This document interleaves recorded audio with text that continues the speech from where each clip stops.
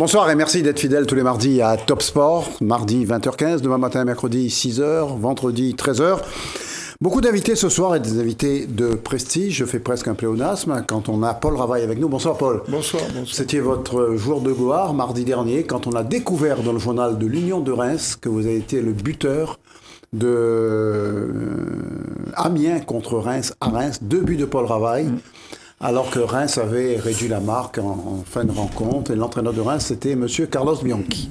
Vrai. Depuis, euh, votre club d'Amiens a, fait match nul à Reims la semaine dernière. Et puis, et puis cette semaine, amis ça fait un faux pas. Mais ça ne nous rajeunit pas quand même. Euh, ça, c'était en 1957, 58. Ou, 44. Mais toujours est-il que c'était il y a longtemps. Demande si et, et, donc, vous allez, on va parler un peu football, un peu de tout avec vous, de ce qui se passe à La Réunion. Et puis, on a avec nous Thierry Tia. Thierry Tia qui était venu il y a quelque temps déjà et qui représente euh, les sports de combat en général, certaines euh, certaines activités parallèles dont il veut pas qu'on en parle, et on en parlera quand même. Et puis avec lui, il y a Tonitza. Oui, c'est ça. Bonsoir. Vous êtes son mentor. Voilà, son, son, assistant au niveau de la Réunion. Uniquement, vous êtes le délégué départemental. Voilà, on peut dire ça comme ça. On, va même dire ça comme ça. Et Jean-Michel Noël. Jean-Noël, Jean-Noël Le Perlier. Jean-Noël Le Perlier, ce qui est à peu près pareil. Jean-Noël Le Perlier. Et vous êtes, vous êtes quoi, vous alors? Son assistant, l'assistant. Euh, on, est... on est tous les deux assistants en fait. Vous, êtes soudés comme la main. Bon, d'accord. On va commencer par, par vous-même. Thierry, vous êtes à La Réunion depuis une semaine, dix jours Non, vous repartez la semaine prochaine Depuis trois semaines à peu près. Je suis arrivé le 21. Et donc on a dispensé avec la team Réunion de cinq stages. Au départ, initialement, il y avait quatre stages de prévus. Ce sont des stages de quoi? Alors, Escrima Arniscali, qui sont des arts martiaux philippins.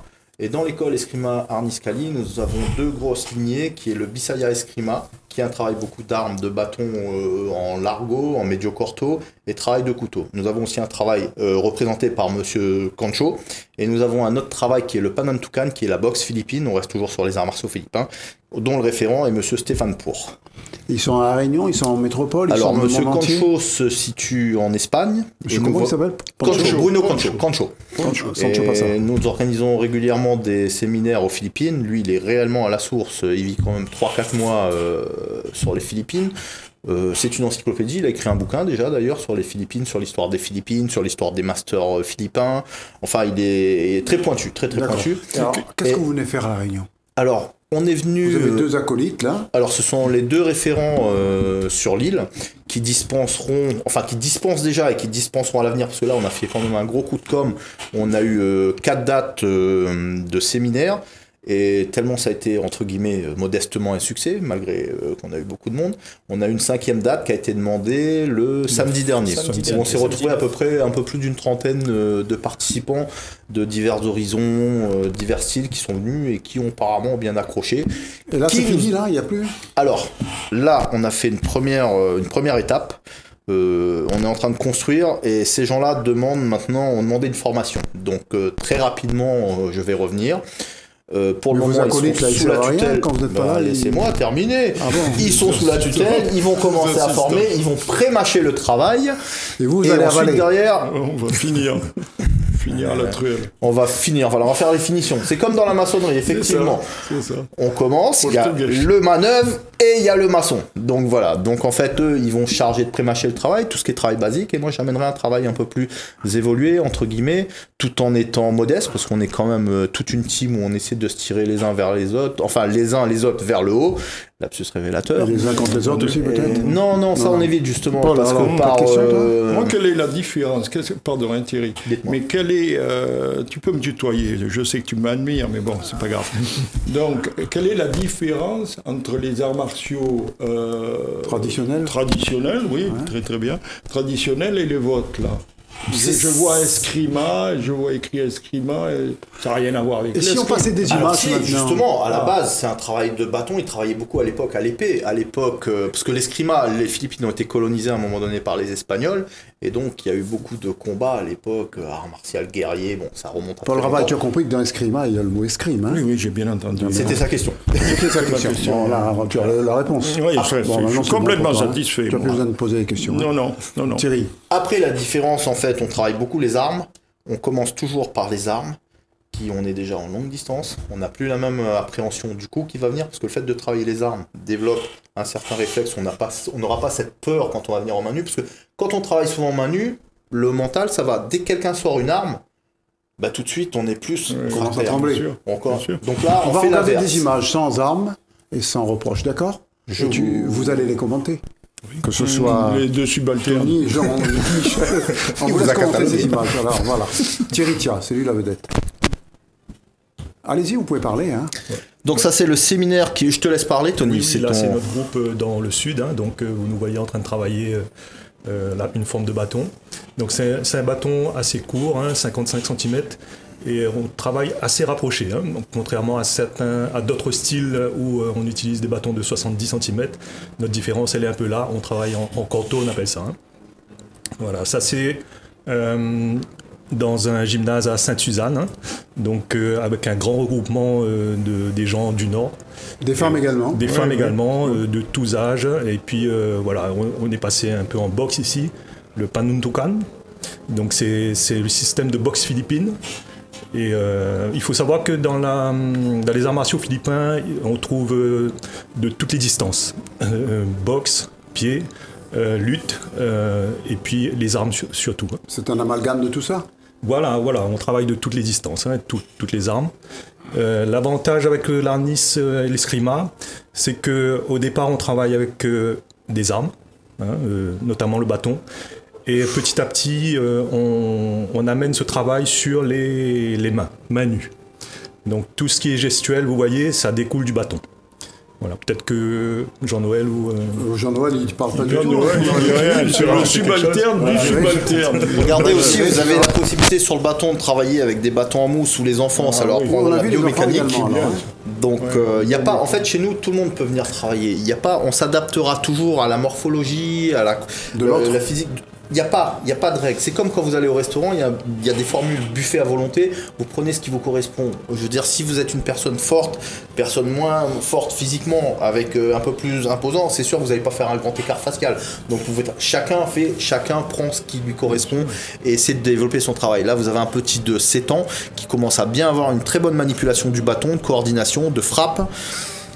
Une, euh, une dame, pareil, personnel féminin, qui travaille assez bien, propre. Là, on est plus dans un travail de forme, en lenteur, plus sous une forme un peu tai chi pour avoir les sensations.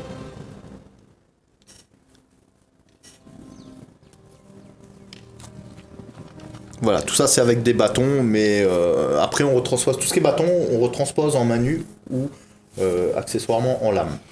Là, vous allez partir.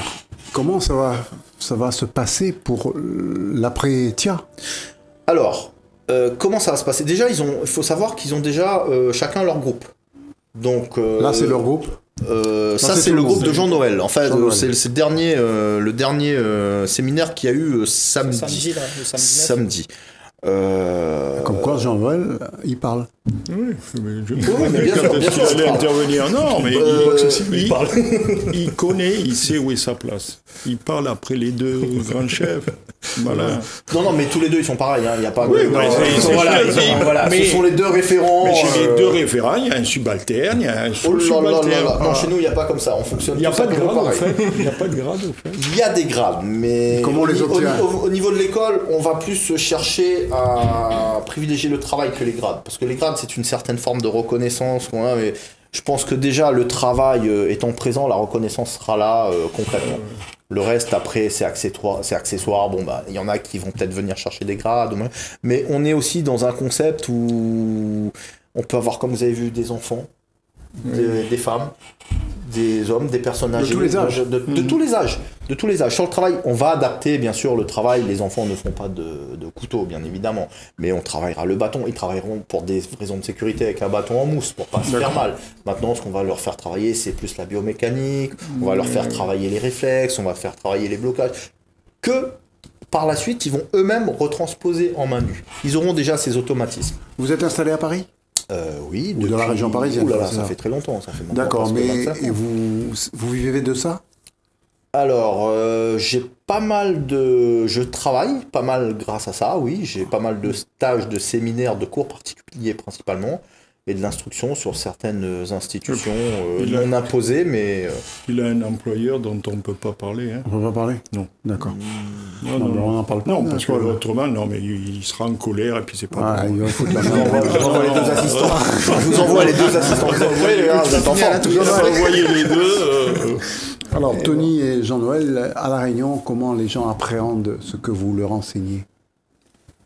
Il n'y a, pas, il, a pas réellement d'appréhension, il y a surtout le plaisir de venir et de, de, de pratiquer et de découvrir ce Ils sport. Ils sont contents Oui, oui, bien sûr. Et, bah, comment, si on veut, on veut pratiquer ce sport? Comment? Si on veut pratiquer ce sport, qu'est-ce qu'il faut faire? Il faut venir où? Bah, Il suffit de venir dans les différentes salles qu'il y a actuellement, euh, il y en, a beaucoup? sur la ravine des Cabris. On a une salle sur la ravine des Cabris à Saint-Pierre, ah qui se déroule le mercredi à 18h.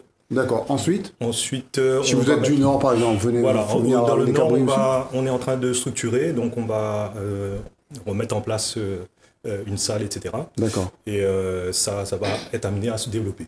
Vous allez revenir quand? Peut-être dans les moins de trois mois.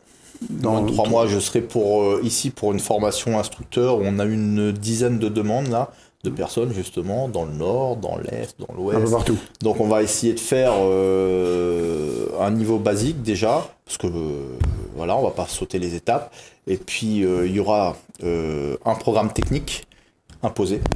Et ensuite, bah, on validera ou on validera pas, et puis on développera comme ça. On va vous valider, nous, votre sortie, parce que, à moins que vous ayez encore une dernière chose à dire. Mmh, rien de spécial. Je tiendrai juste à avoir euh, remercié déjà euh, les deux assistants qui ont été présents.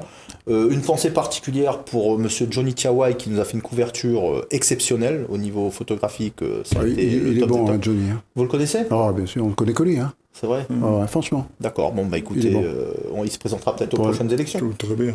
C'est vrai? Il n'y a rien à redire là-dessus. Bon, bah écoutez. exceptionnel. Et merci de votre accueil. Et bah, écoutez, vous êtes là à chaque fois que vous venez ici. On vous attend ici parce que parfois on a des conflits des gens, on ne sait jamais. Donc si vous êtes avec mm. nous, ça nous arrange et tout et tout. Est-ce que ça se rapproche du, du, du self-défense Alors, la self-défense. Paul, il faut qu'il se rapproche de la sortie après. Hein. Oui, mais t'inquiète, je m'en occupe. Je termine. J'aime pas trop ce, tout ce concept de self-défense parce qu'on arrive à, à moduler des gens sur un pour moi, la self-défense, c'est très compliqué. Parce que non, mais Thierry, c'est une question. Hein, non, mais je, suis hein. d'accord. Non, non, mais il n'y a pas de souci. mais la self-défense, au jour d'aujourd'hui, on entend beaucoup parler de self-défense, self-défense. Mais d'un autre côté, c'est bien d'apprendre des gestes à des gens qui peut-être à l'instant T ils arriveront à placer et j'y crois encore à moitié parce que dedans il y a un facteur qui est très important pour moi déjà c'est la peur un autre facteur qui est le stress et donc ça euh, conditionner les gens à faire c'est bien qu'ils fassent quelque chose que de ne rien faire mais derrière, c'est un grand sujet où on demandera à M. Morel de nous réinviter pour clôturer la C'est fait. C'est bon? Le facteur, la peur, moi, euh, j'ai peur du facteur quand même, mon, papier d'impôt. bon, on se retrouve très bientôt. On passe à un deuxième sujet. Et en tout cas, rentrez vite en métropole. Je crois que c'est demain matin. Oui, oui, oui, oui. Pour moi, c'est ouvert si je viens Et puis, euh, nous, on se retrouve bientôt aussi. c'est gentil, merci. Merci. Merci.